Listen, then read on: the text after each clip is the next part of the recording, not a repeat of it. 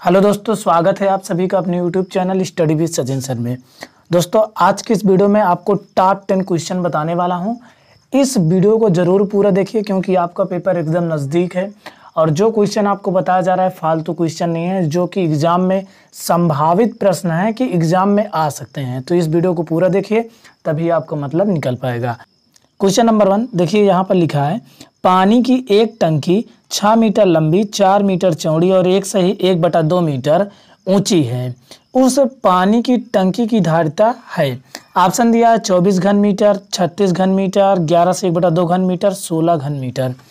तो देखिए, पानी की जो टंकी होती है, ये पानी की जो टंकी है, ये कैसे होती है? आयताकार होती है क्योंकि इसमें लंबाई, मान लीजिए छः मीटर लंबी है, चार मीटर क्या है? चौड़ी है और एक सही एक बटा दो मीटर क्या है? ऊँची है, ठीक है? ये हाइट ऊंचाई है। तो हमसे पूछ रहा है टंकी की धारिता क्या होगी? मतलब टंकी कितने लीटर की है? तो टंकी की धारिता बताने के लिए हमको सूत्र लगाना पड़ेगा, लंबाई गुड़े चौड़ाई गुड़े ऊंचाई, क्योंकि टंकी का आयतन निकालना है तो लंबाई कितना? छः मीटर, और चौड़ाई कितना? है चार, और ऊंचाई कितना है? एक से एक बटा दो। तो इसको हम बदलेंगे दो इक्यावन नम दो एक तीन बटा दो। तो काटिए, दो इक्यावन नम दो दो दूनी चार। छः का पहाड़ दो बार छः दूनी बारह बार तिहाई छत्तीस घन मीटर, यानी आपका दूसरा विकल्प सही है, ठीक है? चलिए, अगला क्वेश्चन देखते हैं। दूसरा क्वेश्चन देखते हैं। देखिए, यहाँ पर लिखा है, बीस मीटर लंबी तथा दस मीटर चौड़ी, एक आयताकार टंकी में दो मीटर गहराई तक पानी है। इसके पानी को दस मीटर लंबी तथा पाँच मीटर चौड़ी एक दूसरी आयताकार टंकी में डाल दिया जाए तो दूसरी टंकी में पानी की गहराई क्या होगी? तो ध्यान से समझिएगा, मान लीजिए कि एक टंकी ये है और एक टंकी ये है। और इस टंकी की देखो, लंबाई कितना दिया? बीस मीटर लंबी, दस मीटर क्या दिया? चौड़ी। एक आयताकार टंकी में दो मीटर गहराई मतलब कि जो पहली टंकी है, इसकी गहराई दो मीटर, लंबाई बीस मीटर और चौड़ाई दस मीटर है। तो अगर हम पहली टंकी का आयतन निकालें तो क्या होगा? बीस गुड़े दस गुड़े दो, क्योंकि लंबाई गुड़े चौड़ाई गुड़े ऊंचाई टंकी का आयतन। बराबर। ऐसे हम दूसरी टंकी का आयतन निकालें तो देखो लंबाई कितना दिया है? दस। तो यहाँ पर हम क्या लिखेंगे? यहाँ पर लिखेंगे हम दस गुड़े। और चौड़ाई देखो पाँच मीटर चौड़ा है तो पाँच। हमसे क्या पूछा? टंकी की गहराई। तो हम हाइट यानी कि ऊंचाई, गहराई यच से मानते हैं तो यच मान लेते हैं। ठीक है, देखो यहाँ दस से, ये दस कैंसिल हो गया, पाँच का नम पाँच पाँच चौक बीस। चार गुड़े दो करेंगे तो चार दोनों कितना हो जाएगा? आठ बराबर क्या हो जाएगा? यच। यानी एच बराबर आठ मीटर, यानी ये आपका किसमें आ रहा है? पहला विकल्प सही हो जाएगा। जो दूसरी टंकी की गहराई होगी, वो आठ मीटर होगी, ठीक है? चलिए अगला क्वेश्चन देखते हैं। देखिए, यहाँ पर लिखा है चौदह दशमलव चार चार चार तथा बीस पॉइंट चार छः आठ का निकटतम संवेतक मान ज्ञात कीजिए, ठीक है? तो बताइए कि इसका निकटतम संवेतक मान क्या होगा? तो यहाँ पर देखो, चौदह दशमलव क्या लिखा है? चार चार चार, ठीक है? तो इसका नियम क्या कहता है? कि यहाँ से यहाँ से इसके पाँचवें अंक तक, एक, दो, तीन, चार, पाँचवें अंक पे अगर यहाँ पर, जैसे चार है, अगर यहाँ पर पाँचवें अंक पर पाँच से अधिक हो जाए तो पॉइंट के दूसरे स्थान पे एक अंक बढ़ा दिया जाता है, ठीक है? कब? जब यहाँ पर, यहाँ से पाँचवें अंक पर और यहाँ से दशमलव के बाद तीसरे अंक पर अगर पाँच से अधिक हो जाए तो हम दूसरे अंक पर एक अंक बढ़ा देते हैं। अगर पाँच से छोटा रहे तो सेम वही चीज़ लिखते हैं तो चौदह दशमलव चार चार इसको हम लिख सकते हैं। ठीक है? अब उसके बाद दूसरी कंडीशन देखिए, बीस पॉइंट कितना लिखा? बीस पॉइंट चार छ आठ। ठीक है? अब ध्यान दीजिएगा, इसमें देखो, यहाँ से अगर हम गिने तो यहाँ पाँचवें अंक पर आठ यानी पाँच से ज़्यादा हो गया, ठीक है? जब पाँच से ज़्यादा हो जाए तो यहाँ पर हम क्या करते हैं? दूसरे स्थान पर एक अंक को बढ़ा देते हैं तो इसको हम लिख सकते हैं बीस दशमलव चार सात।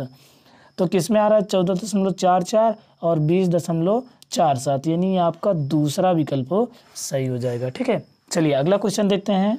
अगला क्वेश्चन बताइए कि इसमें कौन सा आंसर एकदम सही होगा? जल्दी से बताइए। देखिए, यहाँ पर लिखा दो minus middle bracket, three minus, फिर कोष्टक फिर चार माइनस, फिर बार कोष्टक, तीन माइनस दो, फिर छोटा कोष्टक बंद, मसला बंद। तो सबसे पहले हम इसी बार कोष्टक को तोड़ेंगे, ठीक है? तो ध्यान दीजिएगा, अगर हम तीन में से दो घटाए तो कितना बचेगा? एक, ठीक है? तीन में से दो घटाए तो कितना बचा? एक। अब यहाँ चार में से एक घटाएँगे तो कितना बचेगा? तीन, ठीक है? अब यहाँ तीन में से तीन घटाएँगे कितना बचेगा? ज़ीरो। अब दो में से ज़ीरो घटाएँगे कितना बचेगा? दो। यानी आपका तीसरा विकल्प सही हो जाएगा, ठीक है? इसको दिमाग से फटाफट जल्दी कर लेंगे। इसके बाद हम अगला क्वेश्चन देखते हैं। चलिए, बताइए कि इसका आंसर क्या होगा? इसका आंसर आप कमेंट में बताएँगे।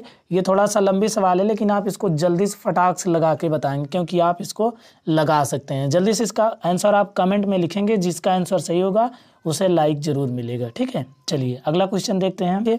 यहाँ पर लिखा वन पॉइंट थ्री टू का whole square divide zero point three three multiply four point eight को सरल कीजिए।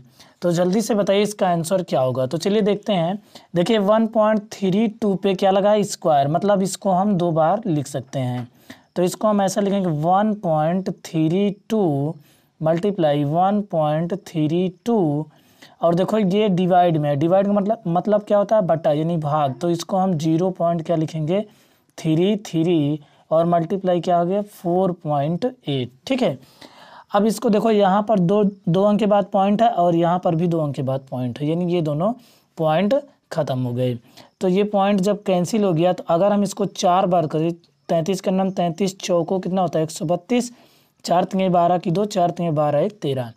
अब चार से हम इसमें गुड़ा करेंगे, फिर उसके बाद जो आएगा, हम इसमें गुड़ा करेंगे। तो गुड़ा करने पर आपका आएगा पच्चीस पॉइंट थ्री फोर फोर, यानी पच्चीस दशमलव तीन चार चार। आपका चौथा विकल्प सही हो जाएगा, आप इसका मल्टीप्लाई खुद कर लेंगे, ठीक है? चलिए अगला क्वेश्चन देखते हैं। देखिए, यहाँ पर लिखा है two point five divide zero point five multiply zero point one subtract zero point zero five को सरल करने पर क्या परिणाम आता है? तो ध्यान से देखिएगा, यहाँ पर भी एक अंक के बाद पॉइंट है और यहाँ पर भी एक अंक के बाद पॉइंट है। जब दोनों तरफ़ पॉइंट समान रहे तो ये डेसिमल डेसिमल कैंसिल हो जाएँगे, ठीक है? तो इसको हम अगर डिवाइड करें तो यहाँ पर क्या आएगा? पाँच पचम पच्चीस, यानी पाँच आएगा मल्टीप्लाई क्या हो गया? Zero point one minus zero point zero five ठीक है? अब पाँच से इसमें हम गुणा करेंगे तो क्या आएगा? ज़ीरो पॉइंट फाइव आएगा माइनस ज़ीरो पॉइंट क्या है? ज़ीरो फाइव अब इसमें हम घटाएँगे, देखो ज़ीरो पॉइंट फाइव में ज़ीरो पॉइंट ज़ीरो फाइव घटाएँगे। तो यहाँ पर ज़ीरो मान लेते हैं तो दस में से पाँच करेंगे, पाँच आएगा, यहाँ बचेगा चार। ठीक है, यहाँ पॉइंट यहाँ ज़ीरो यानी ज़ीरो पॉइंट फोर फाइव आपका पहला विकल्प हो सही हो जाएगा। ठीक है, चलिए, इसके बाद हम अगला सरलीकरण कीजिए। तो ध्यान से देखिएगा, यहाँ पर डिवाइड है, ठीक है? तो डिवाइड को सबसे पहले हम हल करते हैं। तो देखिए, यहाँ पर लिखा है सात बटा तीन गुड़े दो बटा तीन ये डिवाइड में मल्टीप्लाई में हो जाएगा फाइव बाई थ्री और पूरे का बटा क्या देखो? टू प्लस वन राइट तो इसको हम लिखेंगे टू प्लस तीन का नाम तीन, दो, पाँच बटा तीन, ठीक है? कुछ कटेगा इसमें, कुछ नहीं कट रहा है तो इसको हम गुड़ा करेंगे सात दूनी चौदह पंचे सत्तर हो गया, ठीक है? बटे में क्या हो गया? तीन त्रिक नौ त्रिक सत्ताईस हो गया, और पूरे बटा तीन दूना छः पाँच ग्यारह बटा क्या हो जाएगा? तीन, ठीक है? अब देखिए, तीन का नन तीन तीन नवा सत्ताईस, ये कर सकता है। ऊपर क्या बचा? सत्तर, और नीचे देखो क्या बचा? ग्यारह, देखो सत्तर गुड़े ऐसे आएगा, एक हो जाएगा, और नौ गुड़े ग्यारह ग्यारह नवा निन्यानवे। सत्तर बटा निन्यानवे आपका आंसर होगा, यानी आपका दूसरा विकल्प हो, सही है। ठीक है, चलिए अगला क्वेश्चन देख लेते हैं। तो चलिए ये क्वेश्चन आप कमेंट में बताएँगे कि इसका आंसर क्या होने वाला है, ठीक है? जल्दी से आप इसको कमेंट करके बताएँगे। इस सवाल को मैं नेक्स्ट वीडियो में बताऊँगा, अगर आप नहीं बता पाएँगे तो। चलिए लास्ट क्वेश्चन देखिए। नौ सही एक बटा तीन डिवाइड थ्री बाई फाइव का सात बटा नौ गुड़े चार बटा पाँच का आंसर क्या होगा? तो सरल करना है तो चलिए देख लेते हैं हम। देखो, नौ तरीक सत्ताईस सत्ताईस एक जोड़ेंगे कितना हो जाएगा? अट्ठाईस बटा क्या हो जाएगा? तीन। यहाँ पर डिवाइड है, इसको हम क्रॉस मल्टीप्लाई लगाएँगे फाइव ऊपर हो जाएगा थ्री क्या हो जाएगा, नीचे। का मतलब होता है गुड़ा तो यहाँ पर यहाँ पर भी डिवाइड मतलब माना जाता है। नाइन बाई सेवन भी पलट जाएगा फोर बाई फाइव ऐसे लिखा रहेगा, ठीक है? अब ध्यान दीजिए कुछ कटेगा इसमें तो देखिए, तीन त्रिक का नौ हो गया, फिर तीन इकन्नम तीन और तीन इकन्नम तीन, ये हो गया। सात कन्नम सात सात चौक अट्ठाईस हो गया और ये पाँच से पाँच कैंसिल हो गया। तो चार चौ कितना हो गया? सोलह। इसमें यार आपका चौथा विकल्प हो, सही हो जाएगा, ठीक है? तो यहाँ पर आपके ये थे कुछ खास क्वेश्चन जो कि बहुत मोस्ट इंपॉर्टेंट है। इन क्वेश्चनों को आप ध्यान से पढ़िए। अगर आप प्रैक्टिस सेट करना चाहते हैं तो इस वाली प्लेलिस्ट पर ओके करेंगे। और अगर आप मॉडल पेपर करना चाहते हैं तो इधर प्लेलिस्ट है।